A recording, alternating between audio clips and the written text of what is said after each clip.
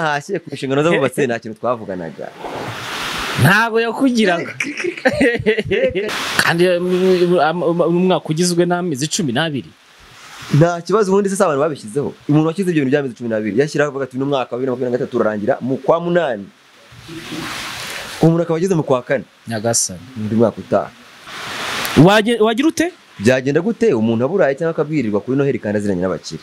Mhm. Iyo nkuru noneho ninjye wabwiriwe na murara kandi mu by'ukuri. Wayanditse uwo munsi? Ntituziranye Eh. niyanditse abura nk'iminsi nk'itatu. Mm. wumve ngo kuri noheli ndi mu bantu babwiriwe bakanabura. Mbese ubwo urumva ko Mm. saa kumi n'imwe ziragera. Ugeze he? ngeze ko rwose. Saa kumi n'imwe n'igice nateze motari. Ibanza yahayobeye ibanza twahayobewe. Amafaranga yakenyereye. Agira urwara bigeze saa kumi n'ebyiri. Agira urwara banatetse. Naguze ni Cyangwa wari wariye n'ikinyobwa. wari warerekeye uriya nta muntu urarira itike wowe Umva, Eh, njye- nta n'umuhungu njya nemera ko anegera njyewe amvaye ko tuzi neza ko urupapuro rukorwa mu ntuza rukorwa ruva- ruva mu giti. Ikirahuri cyo gikorwa mu ki? Ni mu giti pe.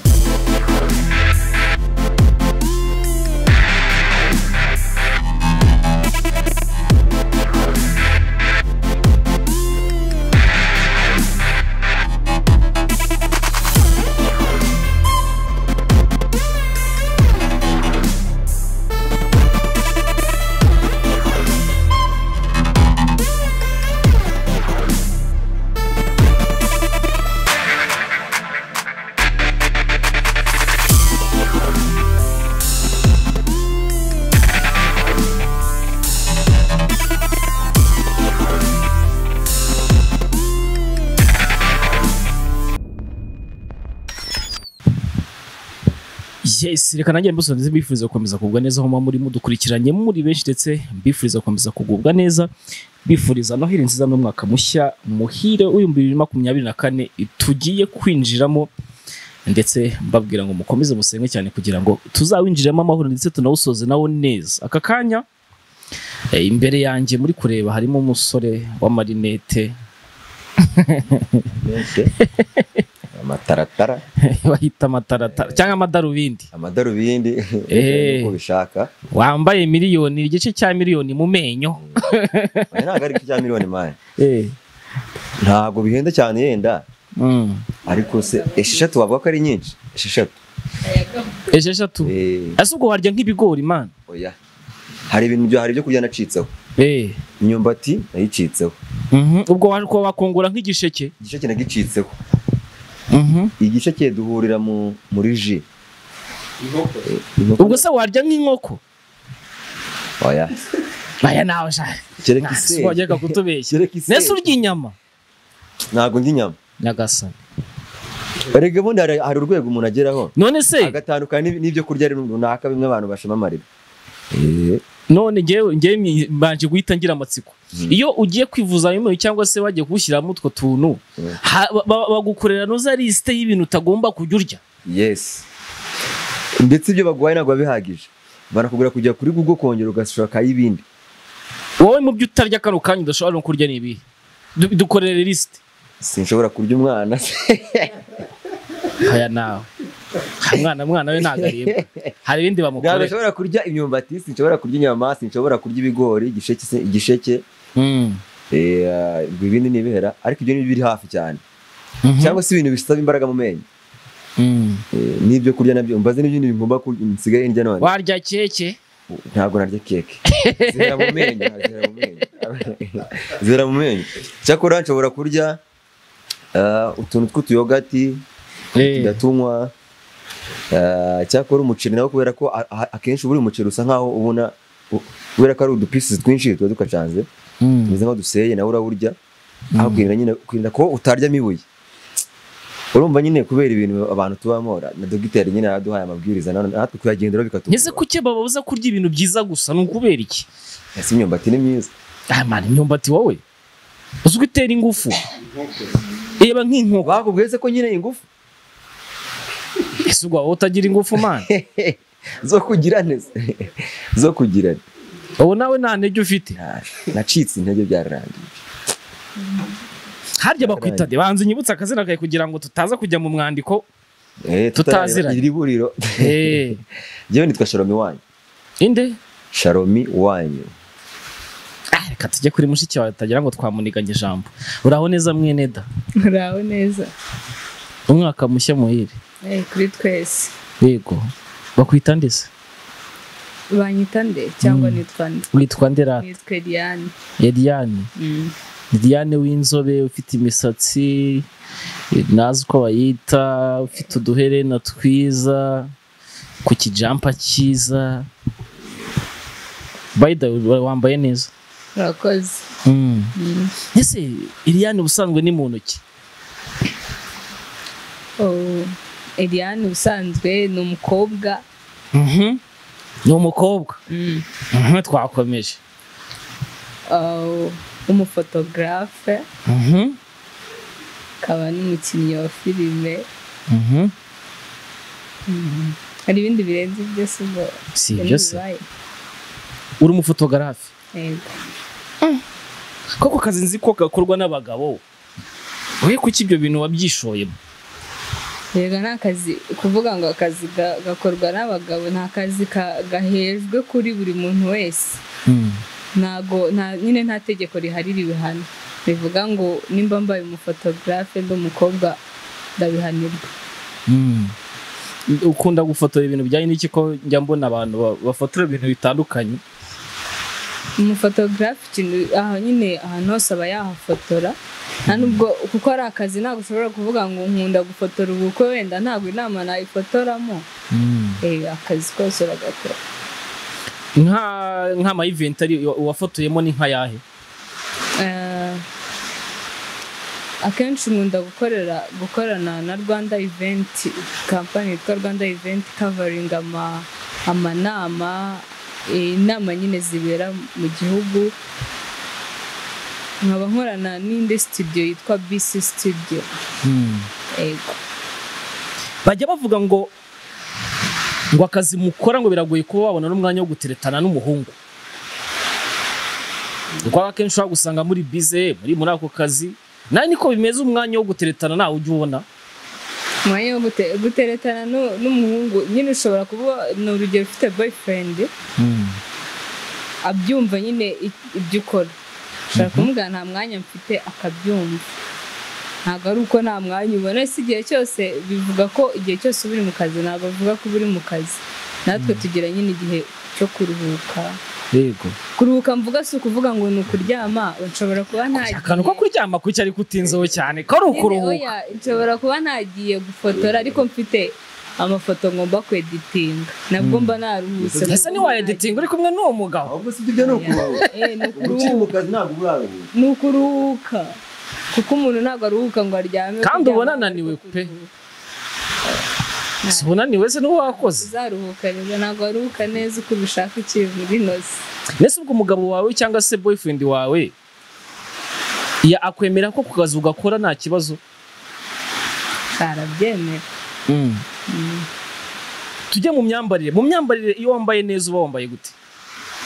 Iyo nambaye neza mba nambaye ipantaro na tisheti cyangwa ishati n'amajampazi n'amajampazi kandi ko bijya bivugwa yuko buranga abantu baziriza ko babirirwa n'amapantaro. Ngo ngo ijipo ngo ngo batayijyamo. Wowe ujya ugiyambara ndayambara aho biri ngombwa watse kutubeshya koko. Aho biri ngombwa ndayambara irakubera se ahubwo njyewe iyo nyambaye ntabwo nakambara umwenda mbona utambereye ni cyo kintu nkunda kurebaho cyane nyine iyo ngiye kwambara ikintu. Uyu mukobwa wigeze ubona yambaye ijipo? Ntabwo ndamubona kubona twahura. Ese wowe uko umuzi? Yamubera?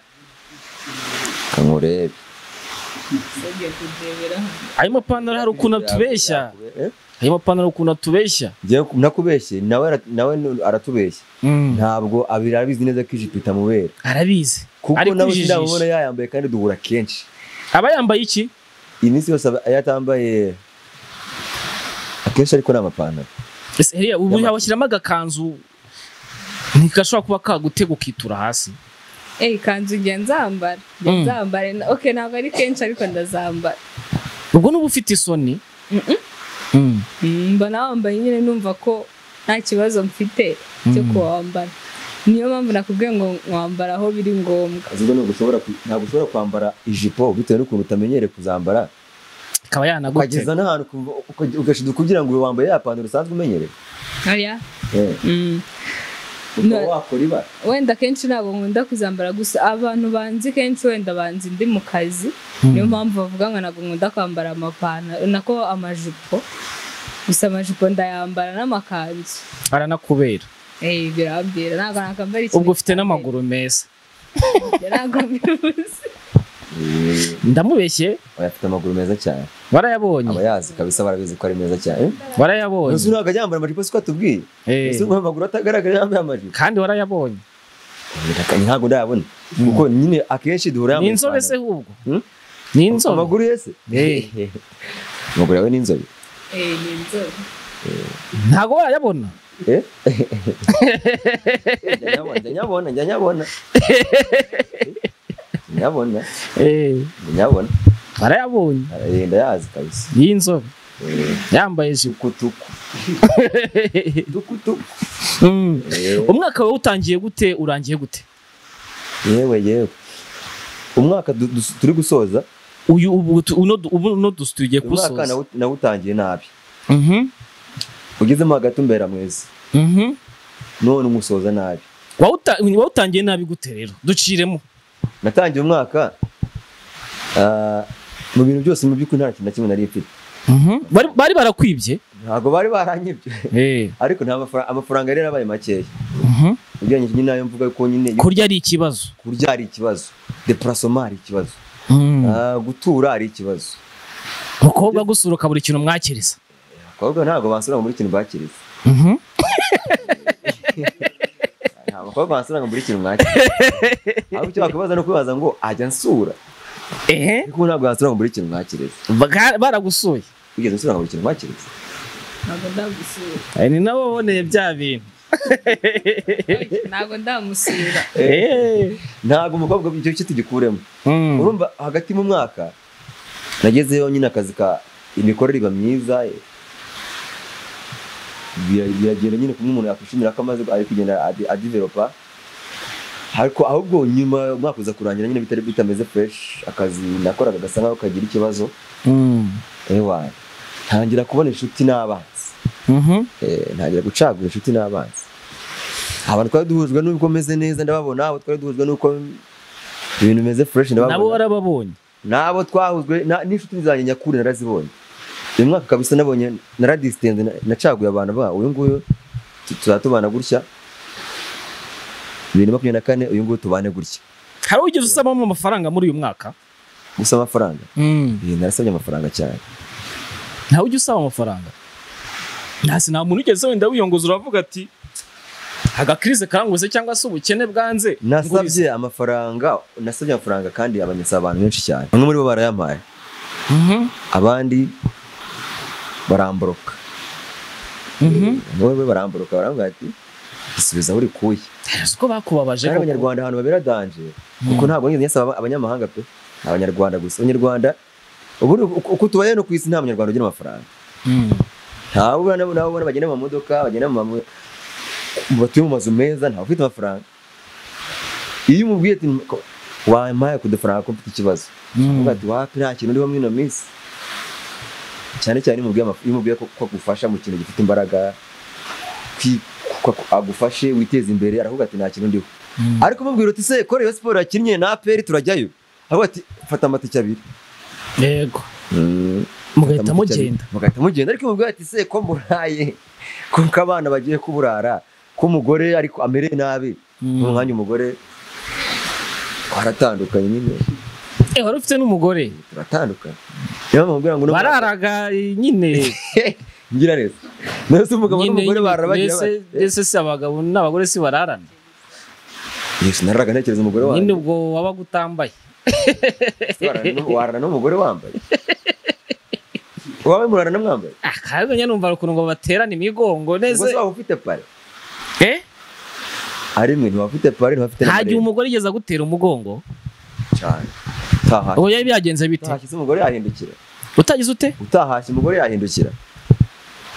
Hasi umugore ntabwo ahindukira ibyo bintu abantu barabimenye uburyo ingo nyinshi. Mm. ingo nyinshi umugore utahashye utamufashe neza ngo umuheke iyo yifuza Eh. guhindukira ibyo bintu byihoreye. Ntibikwiriye unamuhindukiza gukora ariko si ubundi ugamba ingero nyinshi. Ese ko nzi ko imodoka iyo igiye gukata ibumoso hari ikinyoteri ikanda? Eh.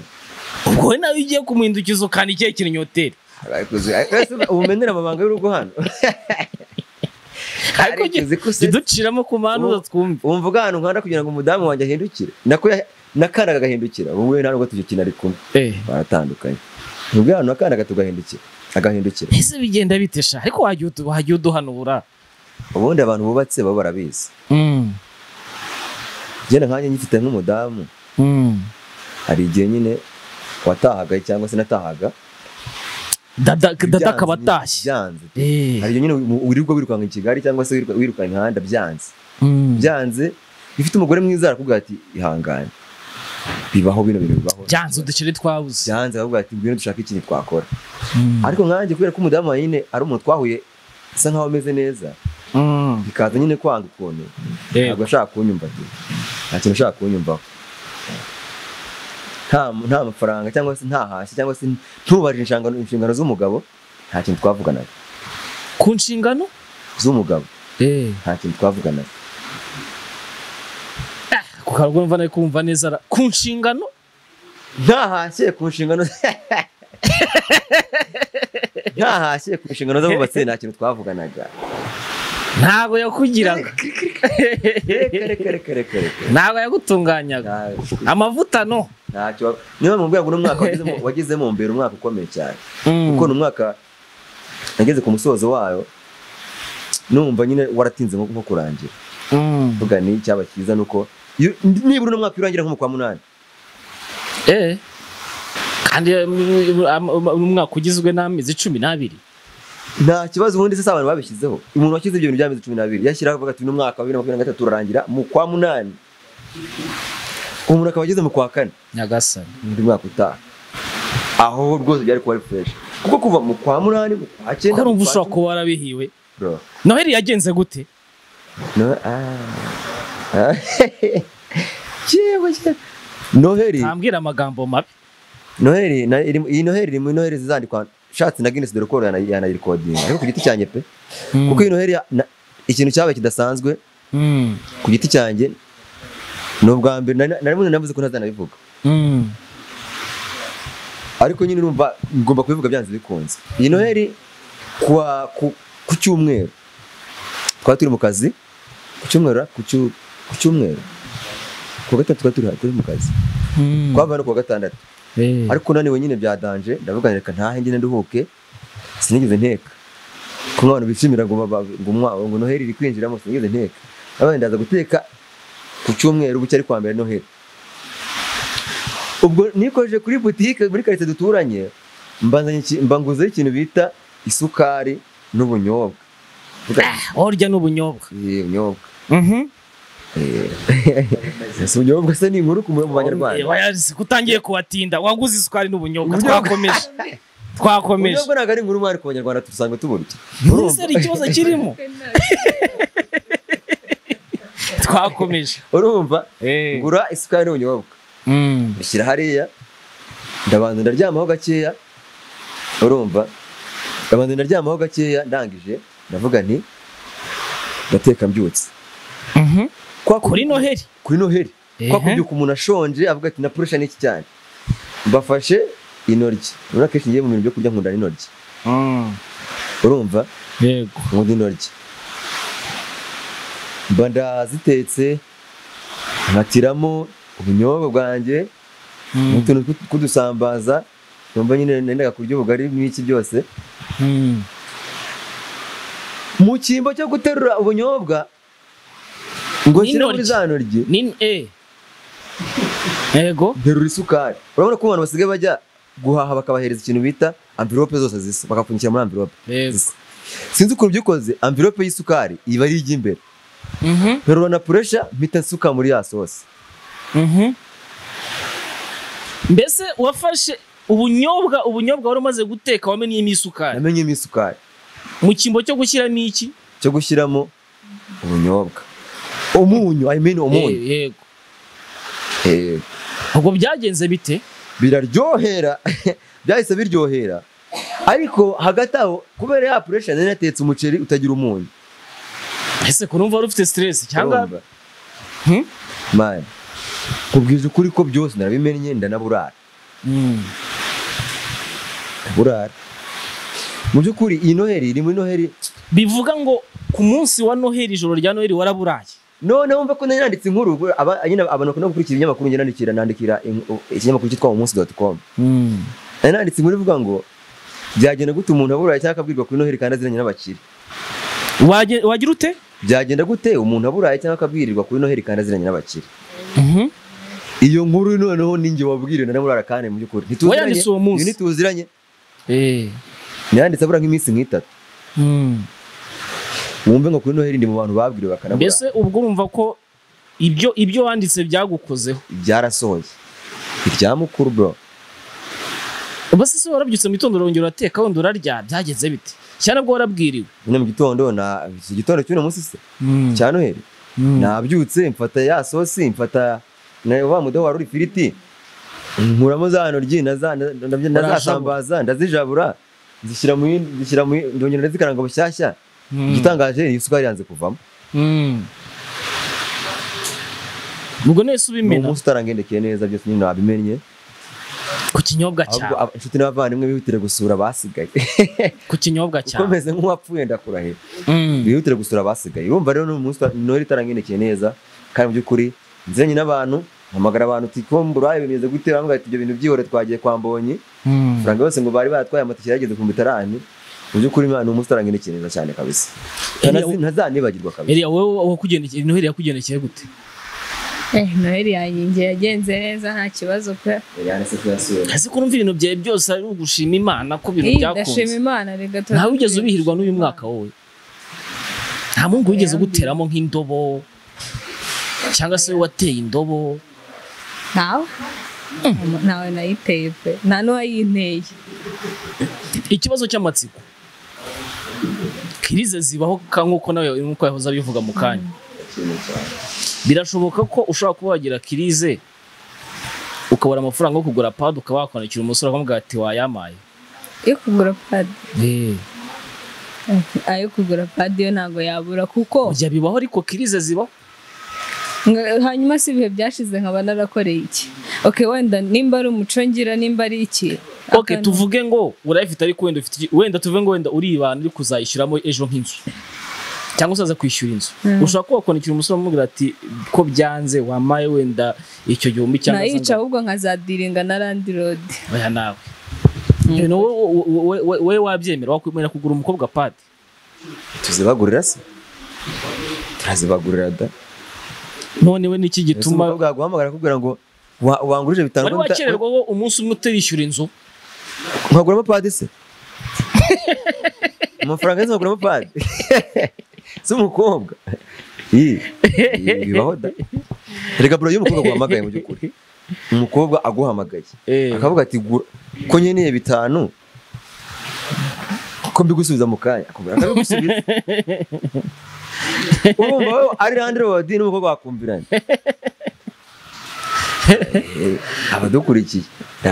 Utambwira ko wari wigeze uyoherereza akanga kuza kugusura. Cyane.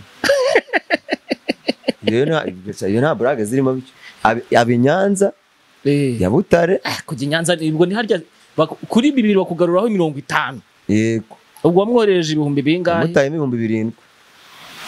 Agire n'akafata mu nzira ze. Aze urumva nyine yageze i Kigali ntabwo nshaka ibya stress hari igihe uba witeguye uvuga ati uyu munsi hara- harapfumura. Udashaka ibya stress mu nzira ngo se ngo tugeze Nyabugogo ngo mbigenze ngo jya Eh. motari wageze he? turi Nyabugogo uri hehe ndi i Kanombe kugera i Kanombe uramca ngahe ni bitanu. Ntabyo kuvuga ngo bine magana atanu ntabyo kuvuga ngo bine magana atanu Eh, muzane muzane ngo wiki kongeza i Kanombe mu kajagari bigenze bite akaba yankuyeho Eh. fata indi moto ni igihumbi kugera kuri segi ah, ipfira ku ku kandi bademo ubwo wari wambaye agasenge wari wambaye n'agasenge imyitozo ikomeye cyane. Ariko mu by'ukuri amahirwe ntabwo yansekeye amahirwe ntabwo yansekeye sheri ugeze Eh, ni mu modokari. Nimba aragiye iruhande rw'imodoka ziri gutambuka avuga ati nyirimo. Mm, avuga ati we yari kuza. Mm. saa kumi n'imwe ziragera. Ugeze he? Ngeze ko rwose saa kumi n'imwe n'igice nateze mu motari. Banza yahayobeye banza twahayobewe amafaranga yakenyereye. Kubona yiri rwara bigeze saa kumi n'ebyiri. Agira rwara banatetse naguze n'ibintu- Cyangwa wari wariye n'ikinyobwa. wari wareba ikinya ni puturu. Reka reka nta viagara naguze. Reka reka reka. Wapi ariko yaranengushye yaranengushye. Yari inshuti yanjye. Aha nawe amenye ko yantengushye kabisa. Eh, ariko hari igihe wakoze wakoze watetse imyiteguro n'ikinyobwa. Hari igihe wakoze masaguzi ukuntu mujya mudutengwa abakobwa. Basi nimuragira n'impuhwe z'amafaranga basi kuna- no kunayakorera ikibazo biragoye Eliya yanze, yanze kuvuga kandi azi barazi utuntu twinshi. Wana muntu urarira itike wowe. Umva, Eh, njye- nta n'umuhungu njya nemera ko antegera amva njyewe ye Ah, Na- n'aba- ni ukuri n'abareba we n'iki wategana ukajya kiganiro. ukagira uwo- nabwiye ngo ntantegere Mm. sha azabyandike muri comment. Ni ukuri uritegera neza ukiga ntabwo Ariko uratega Ariko nyine uratega. ariko uratega tu Eh, na- natega nkagenda none se uratega ukamureba tu Eh, urumva ko ibintu ari neza ariko reka nkwibarize ikibazo umuhungu akubwiye ngo nabuze itike ngo nze kugusura Mm. wari wayimwohereza n'umunsi warimo yari yakubwiye ati nabuze itike aze kukwisurira noneho akubwira muratubwira ngo sheri ngo nyine ngo ngo mino minsi ntabwo meze neza avuga ati aha mbwira mama yawe wanditseho ayo mazina ukayamwa umuhungu agahita yakoherereza Mm. wowe hari umuhungu wari waku- wari wakubwira ati nabuze itike nze kugusura sheri. Ukayimwohererezwa kandi akanyenyeri. Nawe ndayoherereza usibye ko nta n'urayinsaba nyagasani. Nawe? Akunda n'abishoboye. Iyo si icyo nshatse kuvuga ashobora no kuba atayafite wenda usibye ko nta bahungu bajya bansura. Yesu umusore narakubwira ko yabonaga kirize nawe ati kwishyura inzu ndabona byanze nyenda nyishyurira cyangwa yandi bibaho cyane. Wigeze wishyura umuhungu inzu ashobora kumbwira ngo nda- ngo nshaka amafaranga cyangwa nguriza amafaranga nkayamuha kimwe nuko nanjye ase ukora gorizara Eh, nakuguriza. Twanguriza ubu? Eh, mbwira nyine ayo ushaka ndakuguriza. Asha, ndabona umuntu yangurizara ariko uyu mwana mbonye mbona nta ribi. Ntabwo yimana musabe eh, tubikore none angurize Hmm? tuhita dukora amasezerano hano. Ntabwo ajya yimana nta kintu ajya yimana Eh, kandi shawe yaragusuye. Eh oya cyagiye urwaye. Iwanjye urahazi cyagiye urwaye ariko. Cyagiye urwaye. Eh, kandi twamenye uno mwaka none si igihe warebye bya bintu by- by'inzobe byari byagenze bite? Asikari ko tuba twahuriye ku rusengero yaje yaje yambaye nk'umuntu uje gusenga mu giporoso mu bisirimba eh pasiteri muhana muhora kirisi kandi mu byo bizi ijisho rya mukuru ntabwo ritembera ryagiye no kureba mm. ibyo si ibyo ni ibintu bisanzwe mu bantu. gira utyo nyine amaso yawe nawe- ntabwo uri akabati ngo urayahi- urayabika amaso mu gihe cyose ufite amahirwe yo kureba Mm. ushobora kureba ibikureba cyangwa ukareba ibitakureba. Kandi ibyo byose ngenda bireba byaba ibindeba n'ibitandeba ngenda bireba Eh, ese Elia warize ego. Narize warangije segonderi Yego. urabyize n'amanota meza. Cyane. Yego. Yego nkubaze akantu. Nta kibazo mbaza. Ndabanza nguhe urugero rumwe nkubaze ikindi nkubaze akandi kantu. Ko tuzi neza ko urupapuro rukorwa mu ntuza rukorwa ruva- mu giti. Ikirahuri cyo gikorwa mu ki? Mu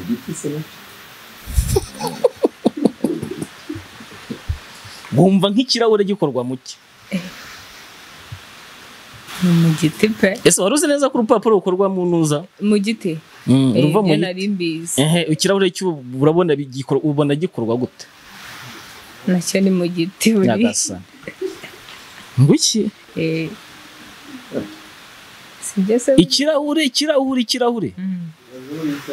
ntese igiti ko tuzi ko ushobora kuba cyakwikubita hasi n'ikimeneka cyangwa se ngo ntikigire ute?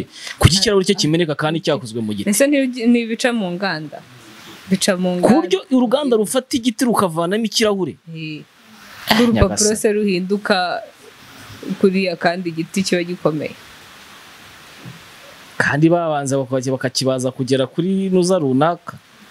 Oya, bi- n'ikirahure ni mu giti cyo nuko mbyumva ikirahure na cyo ni mu giti. Kinusu. Oya ntabwo nzi ubwoko bakoresha ariko nzi ko ari mu giti. Ese wowe wumva ikirahure gikorwa mu ki? Ntabwo najya kwirirwa niririza ubwonko kabisa. Warize kandi? Ntabwo yes narize ariko ntabwo nashoboye kwiga amashuri menshi. Mu mashuri nize ntabwo ntayo gutekereza umwanya munini arimo ese ubwenge bwawe bukora ryari? Ubwenge bw- ntabwo waba wenda ko mfite bwinshi cyane ariko ubwo mfite buke bwo sinzi igihe bukorera ariko byanze bikunze burakora. Ariko eh, twaganira ntabwo ufite se? None ko umuntu utari kubukoresha nk'uko bukwiriye. Yawe uri gukora. Wowe wemera ko ikirahure gikorwa kiva mu giti? Eliane byanze bikunze nta- ntabwo ikiro cyava mu giti. Cyakora gishobora cyakora bishobora kuba ari nk'i- nk'ibuye kivamo. Ibuye ry'isirabwayi. Ribe isarabwayi ribe ikinonko. Ikinonko cyo ntabwo byakunda. Ribe genda kibe isarabwayi urutare. Ariko byanze bikunze kuko urumva ikira- ibuye ni cyo kintu cyashoboka ko nyine bagiconga paka kivuyemo ikirahure. Igiki ibuye. Eh. Bashobora kuriconga rikavamo ikirahure yenda biba byaciye mu ngana nyinshi. Wari wamena ibuye? Hmm? wari wamena ibuye? Ariko abanyarwanda baravuze ngo ibuye rimeneka urwondo rugisukuma bivuze ngo ibuye ryo ibuye rimeneka urwondo rugisukuma bivuze ngo ibuye ryo rirameneka kandi ntabwo ryakwimena. Ntabwo hari yenda hari abantu basanzwe bayamena simbizi. Ubwo tuvuga ngo ikirahure kiva mu ibuye. Cyane.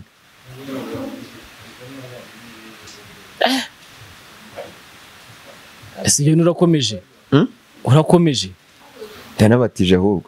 Ese wize iki muri segonderi Ah, muri segonderi n'izi ndimi wize indimi? Ariko na section wiga ndumva itaragombaga kugira ngo utekereze cyane. Bayita ibisosi. Bayita? Ngo byari ngo babyita ibisosi. Harya ba- harya bayita ni literature niki literature.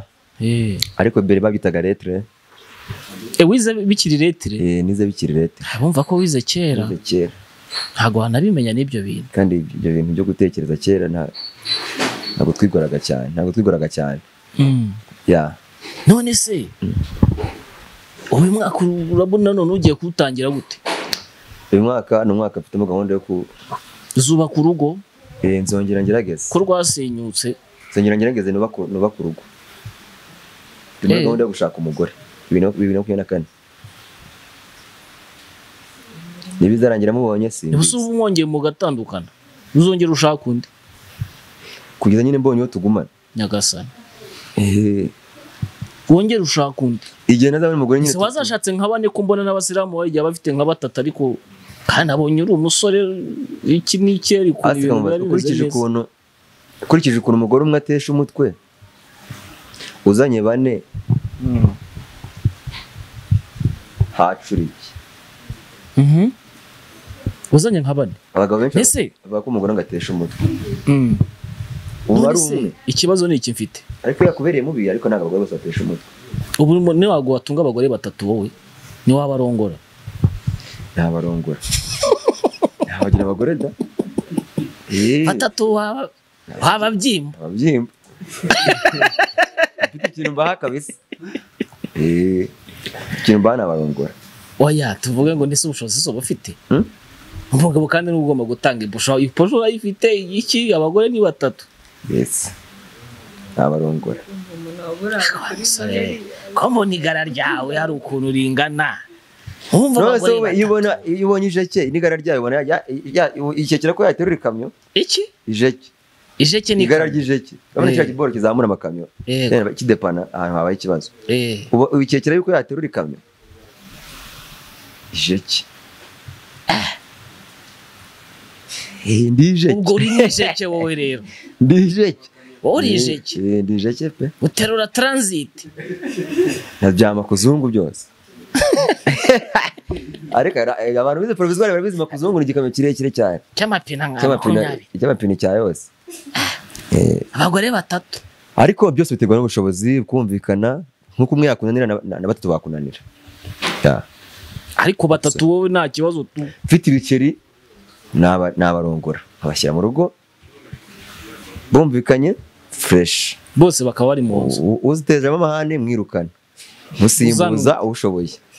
Niko bimeze. Mwese watunga abagore batatu uka- uka- mukajya no mu nduru. Ese Elia wowe wakwemera kuba waharikwa n'umugabo ukaba bakagushakira niba nk'andi bagore babiri?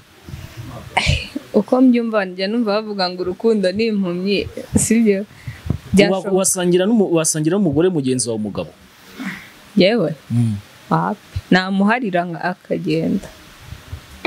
Kandi uyu mugabo avuze ati ngewe batatu nta kibazo ngewe. Nyine batatu ubwo hari aho afite aho yakura. We afite aho yakura abo ngabo.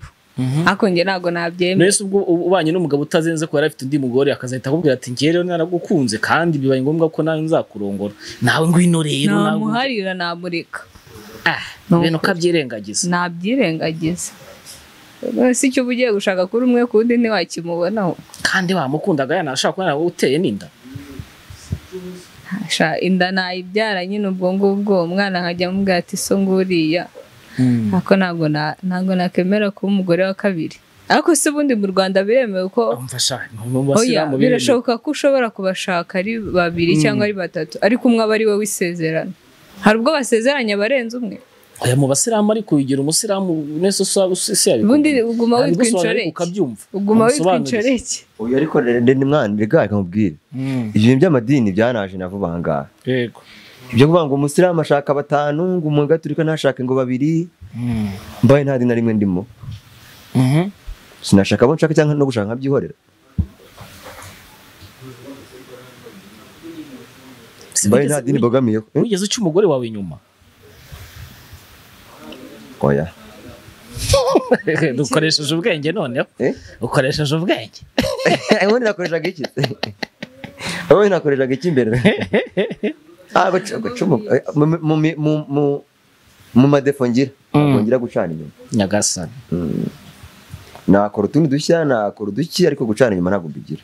Mm. niba ndi kumwe n'umuntu ni Mhm. Twatandukana nkafata undi. Cyangwa se ngashyiramo pause. Ariko ntabwo nkunda gucana inyuma.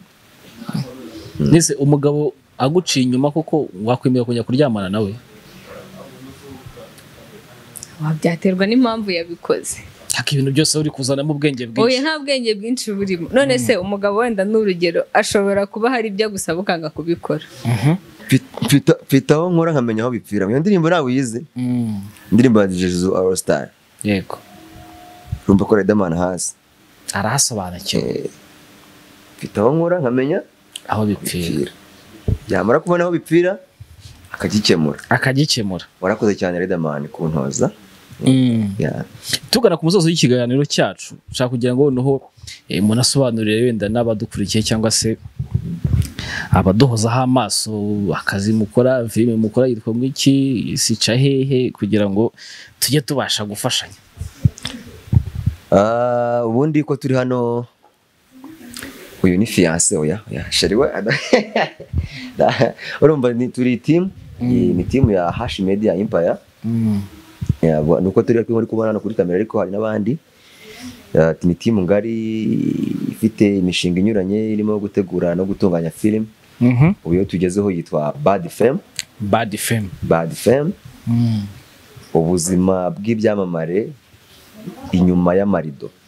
Nyuma y'amarido. Inyuma ya kamera. Hamwe utababona hamwe ata- batari muri interview batari nk'ubu urugero turi hano. Ariko se ko muri kutureba nituva turakora iki? Ibyo dukora rero tutashatse kukwereka. Nibyo muzagaragaza. Ibyo biri muri bad fm kandi ni ni area nini cyane dukoreramo mu- muri secteurs za- zinyuranye murabizi ibyamamare biba ari byinshi cyane. Ni muvi rero cyangwa se ni yamaze kugenda itunganywa ah, episode ya mbere yamaze kujya hanze. Mm. ah, yitwa bad fm epi ya mbere nyine episode ya mbere. Ah, ndahangaha nk'umuntu uhagarariye uwo mushinga. Bose yangiriye icyizere anshyiraho kandi ufite n'ubwenge yarandebye. Aravuga ati nubwo nta bwenge urimo nubwo nta bwenge ariko nta ufite kibazo. akazoza. Eh, kabisa. Ariko mbwira n'abantu ngo bashobora kuvuga ngo yenda ngo mfite ubwenge cyangwa se mbufite. Ariko nta ribi. Nta ribi nta ribi. Nta ribi nta ribi. Ntari bito nta ribi tu Eh. ubwo mfite n'ubwo buranyura nkagera mu rugo amahoro. Urumva? Noneho rero ubwo uyu muvandimwe nawe eh, arivugira ni mukuru fiyanse wawe. Fiance yego. Fiance hari umutipe wa kuri instagram. Hanyuma rero turashishikariza abantu kuyireba urumva baka- bakadusapotinga. Ubwo ni ukuvuga ngo hasi mu kiganiro. Bajye bareba filime ntibarebe fiyanse wawe yes. Fiyanse yanahinduka isaha ku isaha. Mm. nase ko nta mpeta yanahinduka ibyo bintu. Barayijugunye nyine sasa ubizi na wowe The Ben nabonye yayijugunye? Eh. Eh, yamurambiye mu gihe cy'umunsi umwe gusa. Impeta yisi imurambiye. Ah reka tubashimire rero murakoze. Ndizere neza ko ubutaha buriya tuzongera tukicara tukaganira. Tuzaganirira? Eh, nta kibazo. Murisanga. Yego mwakoze cyane no kutwakira tubashimire. Mwaduhaye umwanya tukatambutsa ibitekerezo byacu. Ukunda dushishikariza abantu kudusapotinga ukanda subscribe kuri hashi media empire bagasharinga bagakora amakomenti. Hari igihe dukora ibintu twimagina maze dutekereza ko ari byo bibaho gusa. Ariko urashobora gutanga igitekerezo akavuga ngo iyi n'ibi ngibi muzabitubwireho muzatubwire kuri aba yego. Muzatubwire ku bakinnyi b'umupira w'amaguru. Ese aba- aba- abakina volleyball babayeho bate? Abakina kungufu babayeho bate? Mm. abakina kaci babayeho bate? Ushobora no kuvuga se abakina poro nabo babayeho bate? Nawe urayikina. aho ntabwo tuzakandagira. Ntabwo tuzakandagira ariko bizaba byiza cyane gukomeza gusapotinga tubona tubakorera. Ariko ibya nyuma bivuga nyuma bivuga. mukomeze nyine mudukunde natwe turaba- twiteguye kubaha ibintu byiza. Mujye mudu- muduha amakomenti mutwandikire mutubwire. Aha ntabwo byagenze neza hajemo iri kosa Eh, mume n'akazi. ndi umufotogarafe wabigize umwuga kandi Mm, ndabizi cyane Eh, mumforowinge kuri instagram ni elipix uh, personal account 44 ed- 42 eliane iki business 44 account. Eh. business account ni elipix. Nshimira n'umuntu wamaye nyine igitekerezo cy'iryo zina. Ntabwo ari ngombwa ko muvuga. Ariko se sinanamuvuga yitwa nuze yitwa junior giti Mm. ndamushimira nyine kubwa kubwa kubw'igitekerezo yamaye cy'iryo zina. Hama personal account ni uwa 42 Eliane Mm. koze murakoze.